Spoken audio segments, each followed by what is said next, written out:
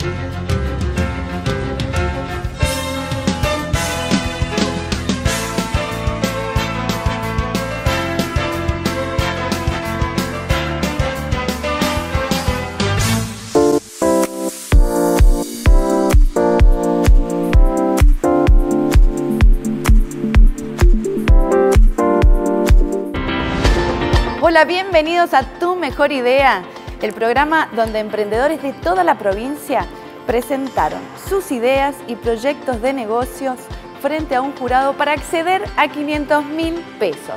Ya son 16 los emprendedores que buscan ser ganadores de este gran premio. Hoy nos visitará especialmente el ministro de Economía, Infraestructura y Energía, Martín Kirchner.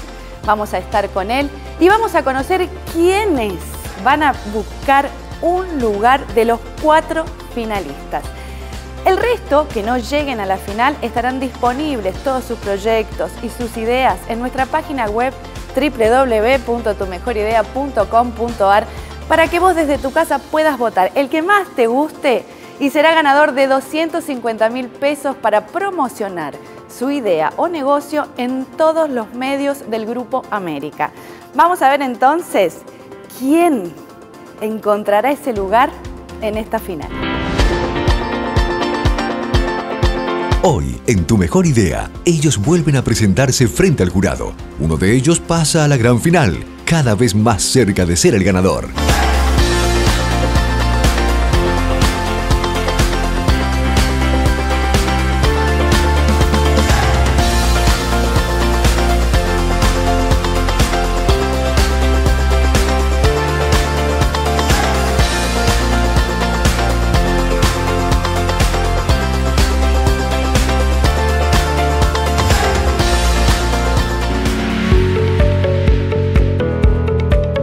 Lucas Roberti, Cerveza de la Veracruz.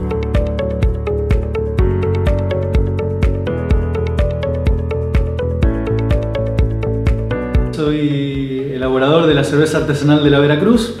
Eh, soy santafesino, casado, tengo dos hijos, 39 años.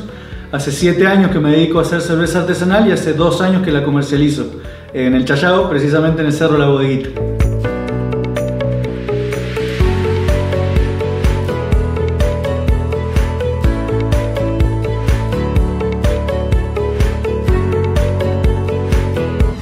Andrés Espasandín, Gaucho BR.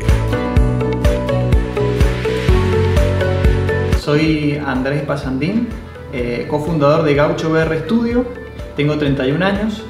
Eh, nosotros nos dedicamos eh, al desarrollo de aplicaciones y contenidos para realidad virtual aumentada y mixta en educación, en salud, publicidad y comunicación transmedia.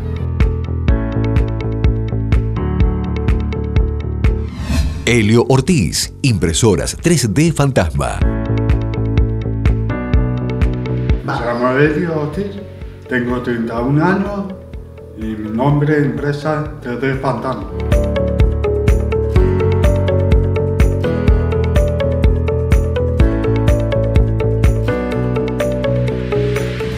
Facundo Corfield, Skill Up.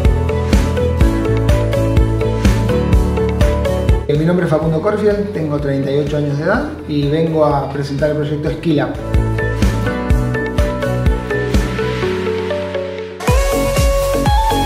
Lucas Roberti nos presenta cerveza artesanal de la Veracruz. tomándome un poco de, las falencias que tenía en la presentación, eh, vine esta vez mucho más preparado con números. Eh, voy a ubicar números en la presentación ante el jurado y bueno, creo que, que traje el proyecto más redondeado, más eh, comprador.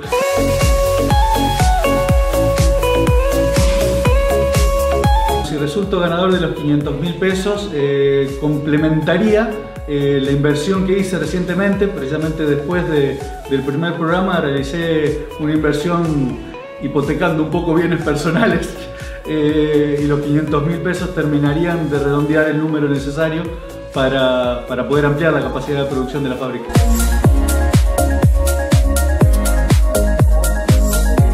Tranquilo, tranquilo. La verdad que bueno, ya estamos acá. Creo que vengo muy preparado y bueno, le tengo mucha fe al proyecto. Eh, el resto de los proyectos son también muy buenos, pero bueno, estoy enamorado de mi bebé. Después de que presenté el proyecto en Tu Mejor Idea, tanto en radio como, como acá en televisión, eh, la verdad que las repercusiones fueron fantásticas. Eh, recibí mensajes, llamados telefónicos, posibles inversores también. El inicio de la inversión ya lo realizamos, eh, vamos a cumplimentarlo con estos 500 mil pesos que vamos a ganar.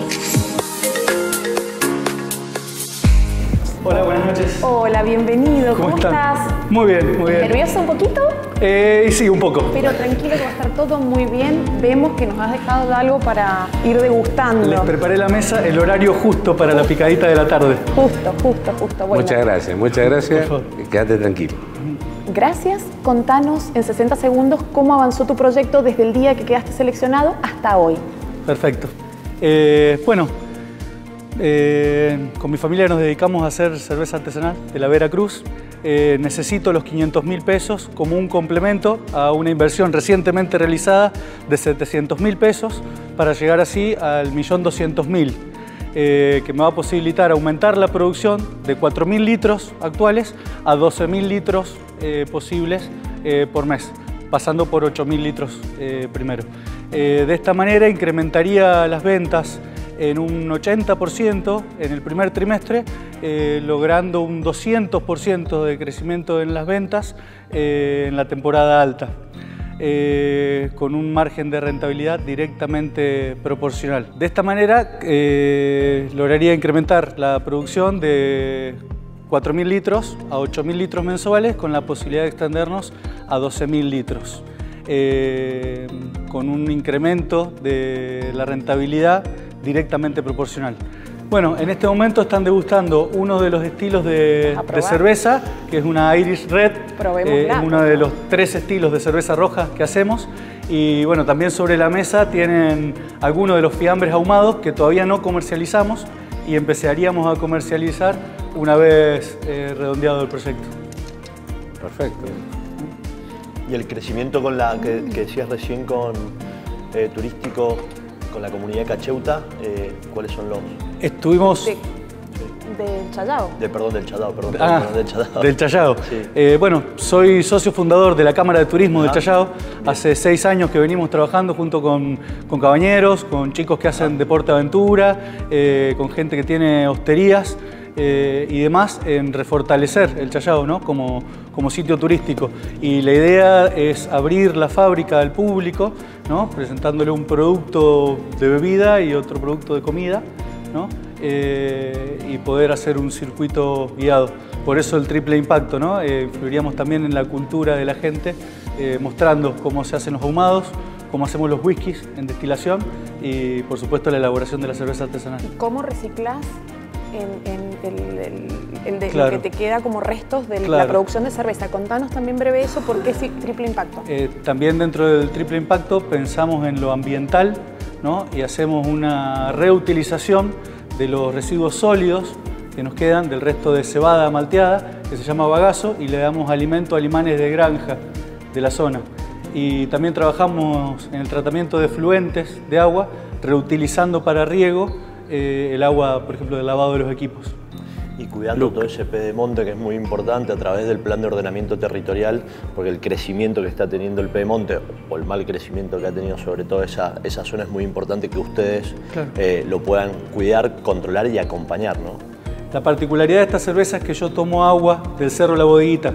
Le devuelvo al cerro el agua que me da. Esta cerveza del Chayao tiene la característica de la cerveza del Chayao que no lo va a encontrar en ningún otro tipo de, de cervecería en el país. ¿no? Por el creo- agua del cerro. Claro, Tal cual. Donde creo que técnicamente Creo la- que es el gran valor agregado que aporta un producto y un emprendedor este, como, como Luca, ¿no? Sí, creo que técnicamente el, el agua tiene una influencia muy grande en el desarrollo de la cerveza. Tal cual. Yo creo que me fue muy bien. La verdad que el jurado nos trata muy bien, pero bueno, a veces los nervios son inevitables. Eh, salí de hablar con el jurado con la sensación de que me faltó contar más, eh, meterle más condimentos, quise hablar un poquito más de números, eh, quise dejar en claro que el proyecto está en marcha, que esto sería una importante ayuda para, para la marcha del proyecto, para acelerar procesos.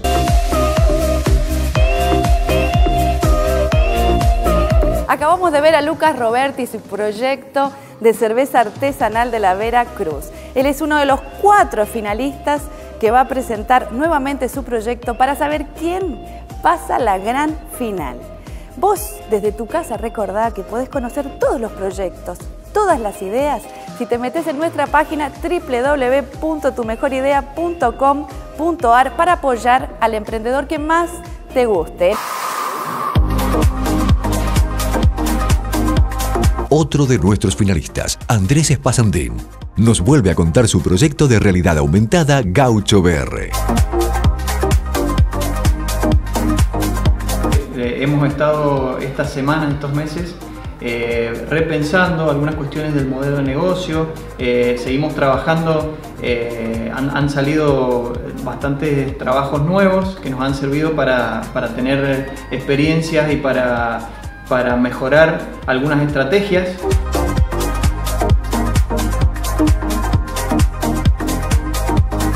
Nosotros en este momento tenemos una demanda creciente eh, por, por distintas empresas que, no- que están queriendo producir con nosotros y tenemos una capacidad limitada, eh, entonces queremos eh, implementar y, más gente que trabaje con nosotros en modo freelance y también eh, eh, más empleados y de esta manera eh, mejorar nuestra capacidad de producción. Queremos invertir en, en activo fijo, en, máquinas y en software y queremos internacionalizar el producto.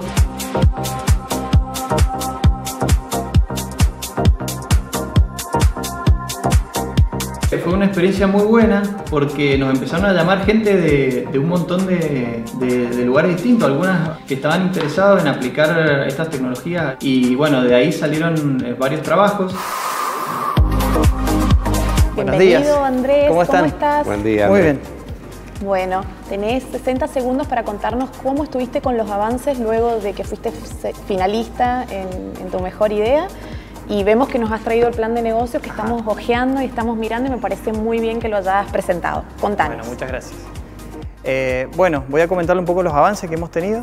Eh, para aquellas aplicaciones que tienen un alto grado de innovación tecnológica, que hemos hecho con clientes, nosotros, eh, por ejemplo, el aula del futuro o el simulador para rehabilitación de accidentes cerebrovasculares, hemos avanzado con un estudio especializado en propiedad intelectual para eh, hacer propiedad intelectual compartida con los clientes y de esta forma trabajar a través de un modelo de pago de licencias y suscripciones mensuales para venderle a otros clientes similares y, repartir esas ganancias con los clientes con los que desarrollamos esta aplicación a medida. Por otro lado, en el aula del futuro hemos avanzado, eh, terminamos la primera de las cinco aplicaciones que estábamos trabajando por un colegio importante de Mendoza, eh, que es un juego de realidad aumentada para aprender ecología y estamos empezando con un juego eh, que es para biología, para aprender biología a través de la realidad aumentada. Y para bodegas, eh, para los toneles, estamos trabajando, ahora hemos terminado justamente dos aplicaciones para, para dos de sus vinos. ¿Qué te potenciaría el, el premio de este concurso? Nosotros lo que estamos buscando ahora es hacer una internacionalización de los productos. Eh, queremos utilizar la inversión para, para reformar los productos o para hacer eh, traducciones a distintos idiomas, eh, para ampliar nuestra, nuestra capacidad de desarrollo, porque tenemos una demanda creciente y no la podemos, no tenemos la capacidad todavía para, para poder para poder afrontar toda esta demanda que estamos teniendo necesitamos más gente. Entonces eh, queremos muchos que están trabajando freelance ponerlos eh, en planta permanente, contratar más gente para producir más. ¿Cuál es tu estrategia de diferenciación? Bien, perfecto. Nosotros tenemos un equipo altamente capacitado de artistas, técnicos que desarrollan eh, a través de motores gráficos de videojuegos, que no todos hacen eso, eh, a través del diseño de sonido 3D que hace más inmersivas las experiencias y producción de foto y video 360. Eh, nosotros hacemos aplicaciones a medida para solucionar problemas específicos que tienen las distintas empresas. Y después también se hacen algunos acuerdos o de licencias de propiedad intelectual compartida para vender y que nuestros clientes tengan un ingreso después para vender a través de licencias o suscripciones mensuales. A medida del cliente es el futuro, es lo que estamos pidiendo en la industria. Y te hago una consulta, ¿la producción de tanto el hardware como de todo el, talento que desarrollas es local? Sí, toda producción acá en Mendoza y hacemos todo el software nosotros. Nos pero, ¿Y el hardware que usan para...? Hardware, eh, no, eso no lo hacemos nosotros. Nosotros dedicamos a solo contenidos y software a medida. Muchas gracias por presentarnos en papel eh, tu mejor idea. Bueno, muchísimas gracias a ustedes. Gracias, Andrés. Gracias. Nos vemos en un ratito en la semifinal. Los procesos de estas industrias eh, limpias y creativas tienen un, crecimiento y un desarrollo eh, y Mendoza la está tomando porque Exponencial tiene muchos talentos sobre que los tenemos que retener. Porque que eso se, trabaja mucho en el Polotic, ¿cierto? Totalmente, totalmente. y los tenemos que retener porque si no se van a donde se generan otras oportunidades. Entonces hay que generar las oportunidades para que los talentos se puedan quedar en, la provincia y haya, este desarrollo. Me, hicieron algunas preguntas para, para profundizar un poco en lo que nos dedicamos, qué es lo que hacemos, cuáles son nuestros objetivos a futuro, qué es lo que queremos hacer con el dinero. Y, bueno, vamos a ver, vamos a ver con qué es lo que nos dicen. Hay que esperar ahora. En el próximo bloque, dos emprendedores que ya son finalistas defienden su idea frente al jurado, buscando un lugar en la gran final.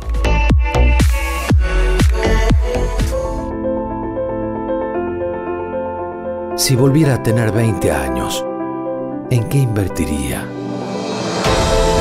Invertiría en esa energía que trae una nueva vida. En risas, en magia y amistad. En aquello que me apasiona. Sin dudas, volvería a invertir en lo que tengo. Edemsa, toda la energía puesta en vos. FM Ayer presenta Michael Jackson, el músico más impresionante de todo el mundo y todos los tiempos en un show más allá de un tributo. Michael Jackson, el show. Coreografía y música en vivo. Te vas a emocionar. Sábado 22 Auditorio Ángel Bustelo. Únicamente anticipadas. Los artistas prefieren Hotel Intercontinental.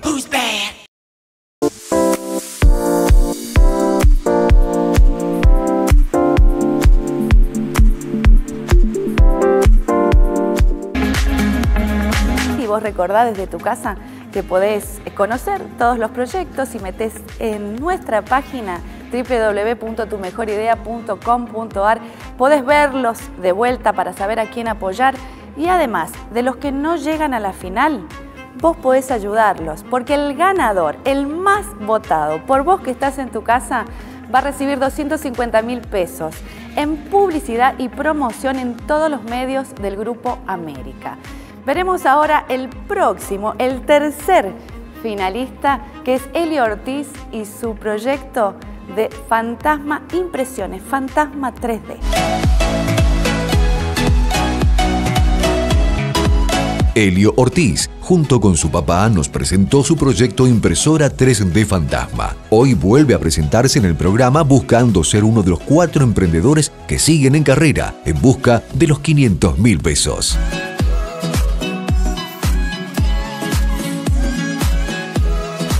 Empresa se llama TV Fantasma. La inicié hace un año y medio. Fabricamos de impresora 3D y impresión 3D. Fabricamos nuestra componente por y para nuestra máquina de filamento técnico. La máquina imprime con energía solar y recupera por panel solar y no quiere gastar de luz. Yo armo de la energía solar. Yo armo batería, programo y realizan impresión 3D.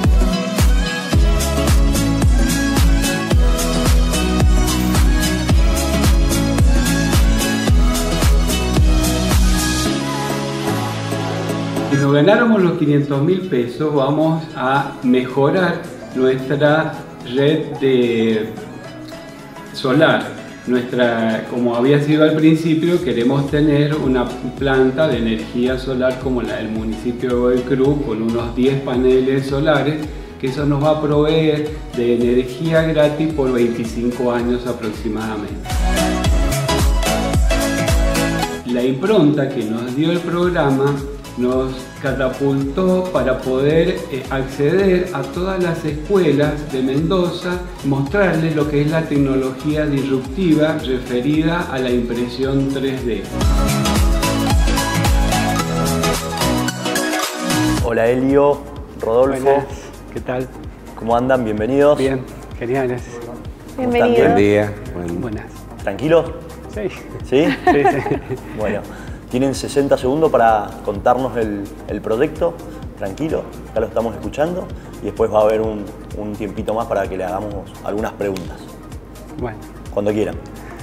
Bueno, eh, gracias a la impronta que el programa nos, nos dio, 3D Fantasma ha podido acceder a los colegios técnicos de Mendoza y poder mostrar la eh, lo que se refiere a tecnologías disruptivas, en especial lo que nosotros hacemos que es impresión eco, impresión 3D.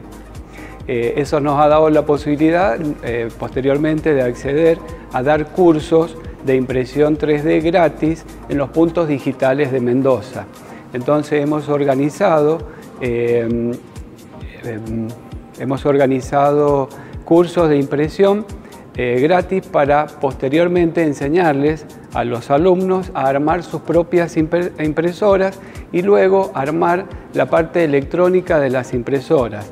O sea que en esta parte es donde 3D Fantasma ingresa, que es armando los kits de las estructuras de las impresoras 3D. En nuestro caso, como además eh, hacemos impresoras que, que son eh, de energía solar, eh, estos en dos puntos, como son los puntos digitales, nos han pedido el proyecto para poder eh, ubicar en esos lugares impresoras 3D que funcionen a energía solar. Tenemos entonces ahora 180 segundos para hacerte unas preguntas, ¿sí? Bueno, contanos eh, todo lo que tiene que ver con el proyecto y cómo pensás eh, vincular la parte de los cursos que vos estás brindando ahora en las escuelas con la venta de los equipos para un poco ensamblarlo del plan de negocios. Contanos y vamos por ese lado. ¿Cuánto sale cada impresora? ¿Cuántas tenemos que vender para, para generar un buen negocio? Bueno, en este momento las charlas que damos en, los colegios son de aproximadamente mil personas por mes. De eso saltamos a los cursos que se dan eh, en, toda la en, toda la provincia, en los puntos digitales, de 40 alumnos por curso y ahí saltamos a unos 17 alumnos por el curso de ensamblado de la impresora 3D, que es donde nosotros ingresamos para ofrecer nuestras estructuras. Luego está el curso del ensamblado de la parte electrónica. Eh, las impresoras, el kit que nosotros armamos Calculás completo. que vendés 17 y 17. Claro. Más o menos. Exactamente. Tenemos entonces, eh, valen 26 mil pesos. Eso nos estaría dando en el orden de los 30 mil pesos por curso por mes a 3D Fantasma, tenemos la opción por todos los eh, puntos que nos han ofrecido de armar unos 8 cursos por mes, entonces estaríamos manejando, facturando unos 500 mil pesos mensuales. En esa escala es la que estamos manejando. todo esto sin hablar de la venta de insumos que va a generar eh, estos cursos de impresión 3D. bien por el modelo de negocio. Sergio. Sí, Helio. Eh, escuché el modelo de negocio, el planteo que hace, los cursos, la fabricación. Eh, te complemento algo para que tenga en cuenta como tu, tu, argumento de venta. Creo que está elaborando una máquina que va a revolucionar la forma de la industrialización del mundo. Esto no es dicho por mí, sino en el Economy del año pasado, y hay importantes empresas eh, fabricantes de zapatillas que están logrando zapatillas a través de impresoras 3D y con esto ya no va a ser, pensemos en que no va a ser necesario tener la fábrica en China, sino va a poder tener mini cantidad de fábricas de esta empresa multinacional y va a poder fabricar las zapatillas, digamos, este, en el lugar de, venta. Por lo tanto, el potencial que tenés como, como idea, como proyecto, como máquina, es enorme. Creo que ese es el, valor agregado y que hay que, difundirlo más. En la biomedicina se, están, eh, se está pensando en, los órganos del ser humano, o sea, la tecnología está avanzando, o sea, que es el camino hacia donde hay que ir y felicitamos eh, por esto a Helio, que ha tenido esa visión de trabajar y de, enfocarse en, ese proyecto, en este proyecto. es decir, que estás utilizando tus propias impresoras 3D para crear otras impresoras 3D. Exactamente. Del proceso. Nosotros imprimimos en un filamento que se llama nylon 12. Somos uno de los pocos impresores en la Argentina que lo hace. Con, con ese material imprimimos las piezas que le ofrecemos a nuestros alumnos. Son piezas de, primerísima, de primerísimo nivel, o sea que estamos en el límite de la tecnología y estamos en esas piezas impresas obviando rulemanes que se están importando. O sea que además es valor agregado a las piezas que nosotros... Podemos pensar que podemos crear cualquier cosa hoy a través de las impresoras 3D si podemos crear nuestras propias impresoras 3D. Eh, en el programa que nosotros trabajamos, que es RepRap, las impresoras se imprimen a sí mismas. O sea que un comentario, Me parece que esa es la tendencia, Guillermo, del mundo. La, próxima generación de computadoras van a ser hechas por computadoras. Claro. Bueno, se han terminado, eh, se ha terminado el tiempo. Muchas gracias. Bueno, gracias a ustedes. Por compartir con nosotros su proyecto.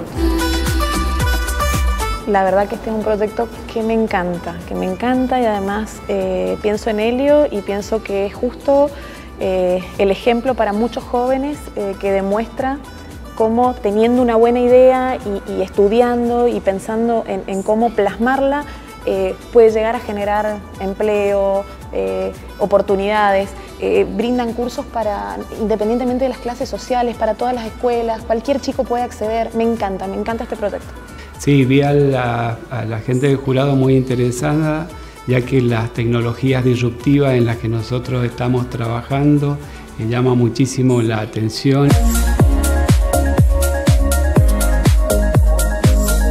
Es el turno de ver frente al jurado una vez más a Facundo Corfield, quien nos viene a mostrar los avances de Skillab.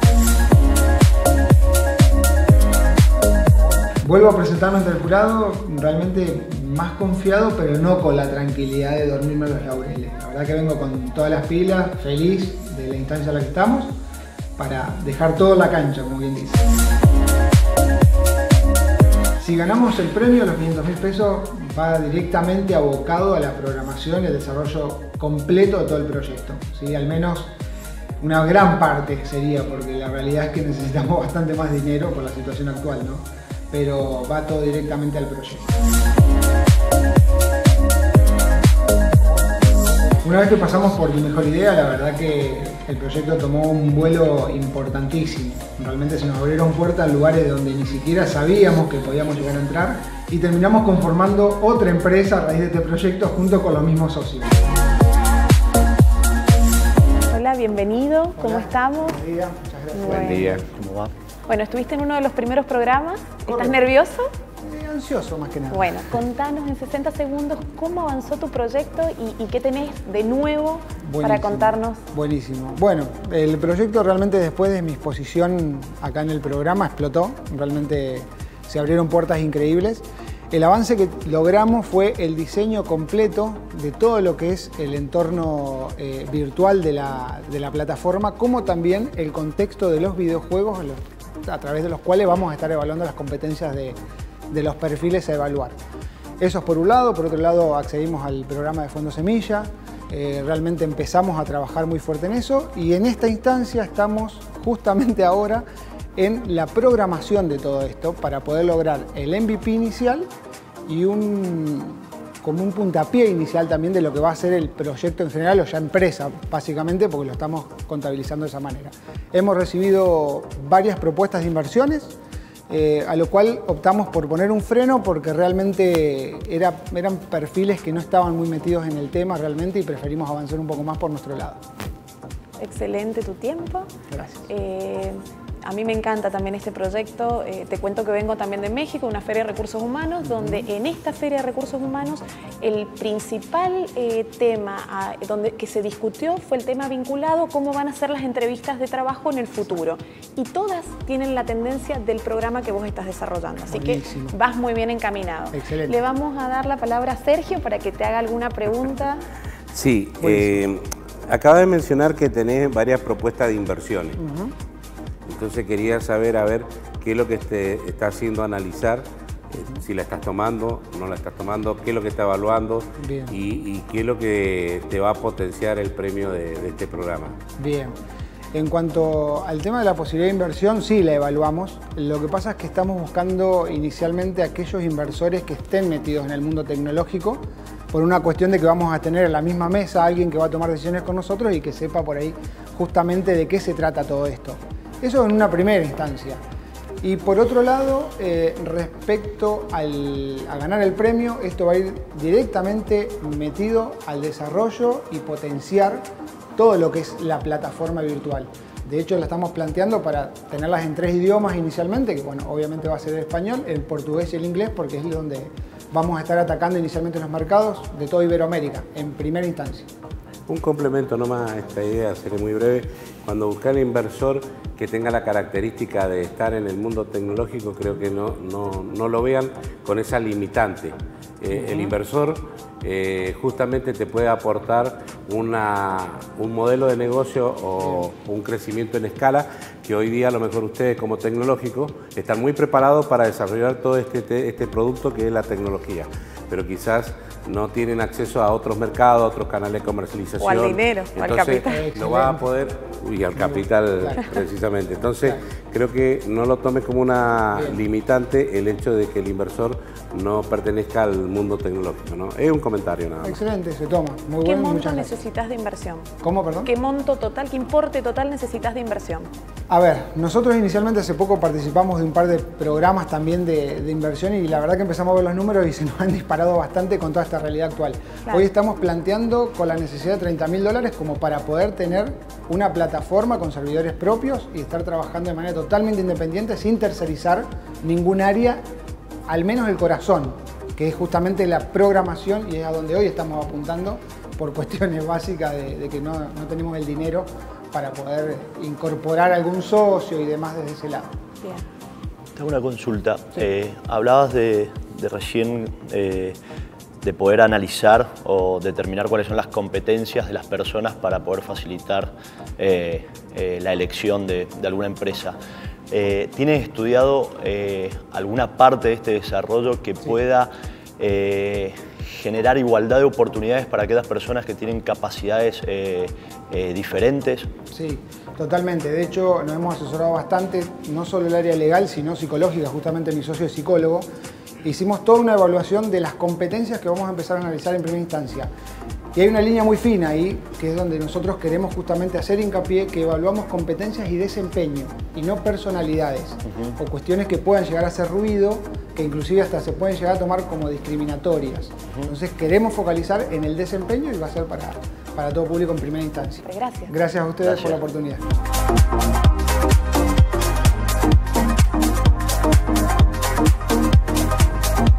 Eh, sí, lo que me resulta eh, llamativo ya las propuestas de inversores que tiene. Entonces, rápidamente este proyecto va a estar en la calle y va a estar escalando eh, como se debe, ¿no? Ya, y que el, eso y es ya. Y que el juego sea parte, o lo lúdico sea parte de algo serio, o, lo que le llamamos eh, serio, me parece que también es interesante para poder lograr ir rompiendo ciertas verticalidades verticalidades, ¿no es cierto? Y empezar a hacer trabajos más horizontales también. Respecto a las preguntas que me hicieron, la verdad que muy buenas. Eh, nos da la pauta de que claramente ven de qué se trata o les gusta eh, estudiar un poco más sobre cada uno de los proyectos, al menos en el caso nuestro, y también nos dieron la pauta de que, con los comentarios de que vamos por buen camino realmente. Está muy interesante, me gustó mucho. En el próximo bloque sabremos quién de los cuatro emprendedores sigue en carrera por el medio millón de pesos. Mi mejor idea es venir a desearle suerte. Muchas Que gracias. tengan grandes, grandes futuro eh, y que su idea se, se pueda ver, se pueda palpar.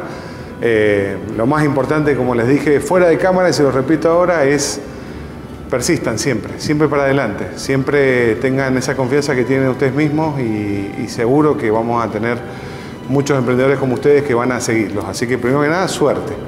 Después agradecerle al equipo de Tu Mejor Idea, a todo el equipo, a, a los jurados que están todos los días acá acompañando y a, todo el esfuerzo que están haciendo. Y bueno, lo más importante de esto es, me toca vender ahora, hacer la venta.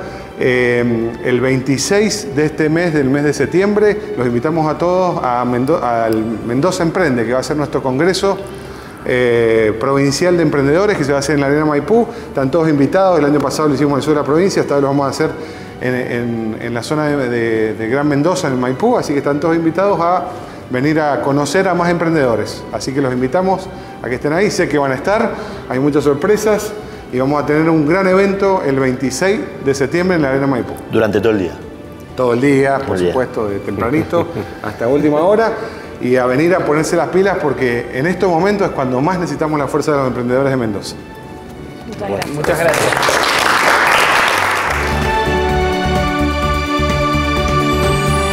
Mendoza Emprende te invita al segundo Congreso Provincial de Emprendedores. Agendate. El miércoles 26 de septiembre a partir de las 8.30 horas vas a poder disfrutar de más de 70 stands con emprendedores de toda la provincia. Charla en vivo de Sergio Cachito Vigil y un cierre con Agapornis, que nos cuenta su historia en el mundo de los emprendedores y nos hace cantar y bailar con sus éxitos.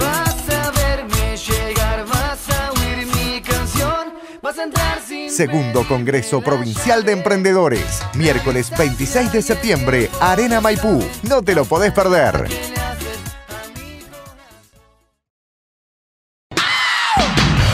FM Ayer presenta Michael Jackson, el músico más impresionante de todo el mundo y todos los tiempos en un show más allá de un tributo. Michael Jackson, el show. Coreografía y música en vivo. Te vas a emocionar. Sábado 22 Auditorio Ángel Bustelo. Únicamente anticipadas. Los artistas prefieren Hotel Intercontinental.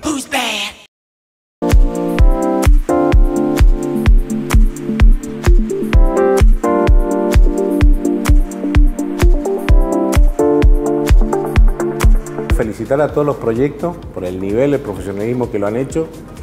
Segundo, a mí me dijeron que venía de jurado un programa con emprendedores, pero eh, creo que estoy frente a empresarios y que van a ser los futuros grandes empresarios de Mendoza y que tanto lo necesitamos en, en Mendoza, ¿no? porque van a ser dadores de trabajo. Así que desde ya considérense todos ganadores. Los felicito y les deseo el mayor de los éxitos. Gracias. Mi voto es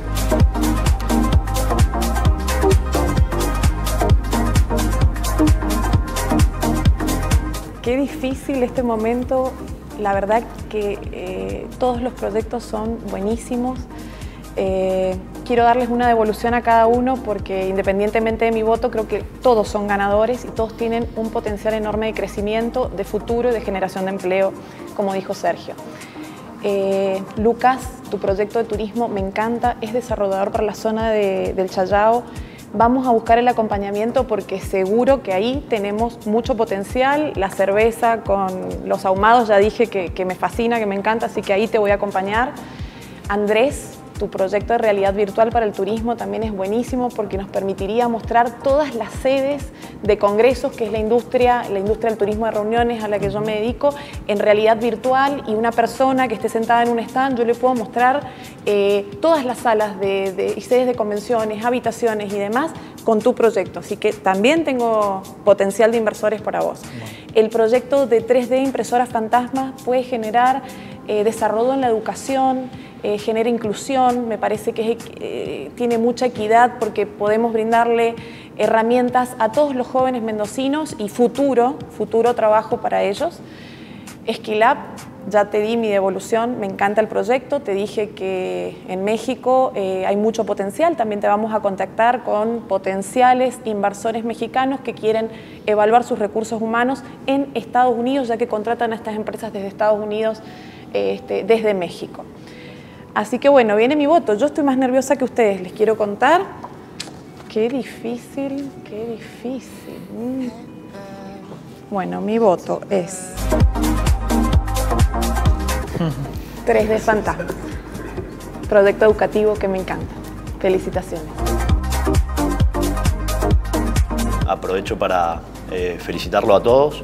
Eh, vamos a seguir en contacto. El desarrollo del ecosistema de emprendedor de la provincia es un referente a nivel nacional y tenemos que compartir esto también con, con otras provincias. Entonces, como tengo la posibilidad, no sé si me va, me va a retar la, la, producción, pero mi voto es para todos. Así que, ¿se puede? ¿Ah? Así que muchísimas gracias y felicitaciones a, a, 3D porque realmente el trabajo familiar eh, que hacen de, de, integración, de que acompañes a tu hijo en la idea que es, que es de él y sobre todo que sea colaborativo con todos los otros, eh, como nos contabas recién, competidores para que puedan impactar también en la educación de los chicos, me parece que es un valor que a veces no entra en el Excel, así que eh, también felicitarlos por eso.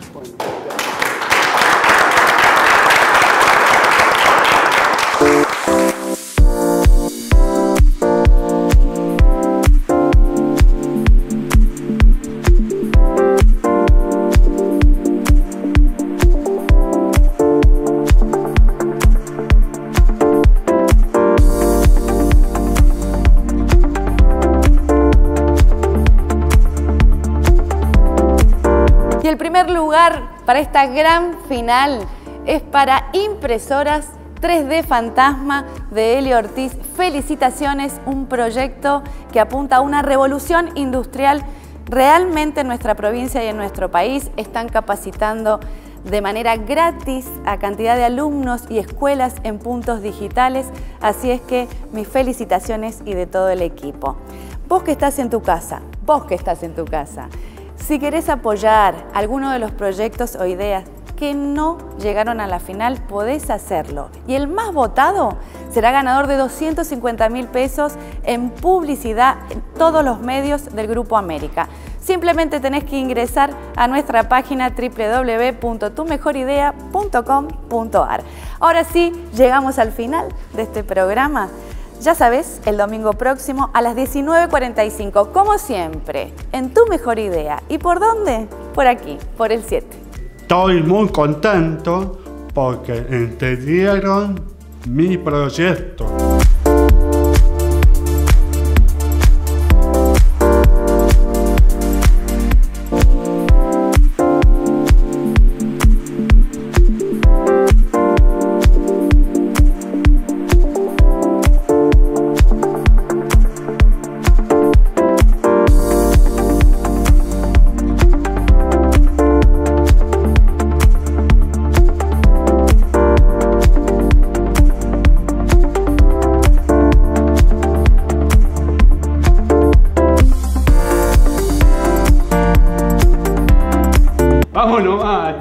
Fantasma.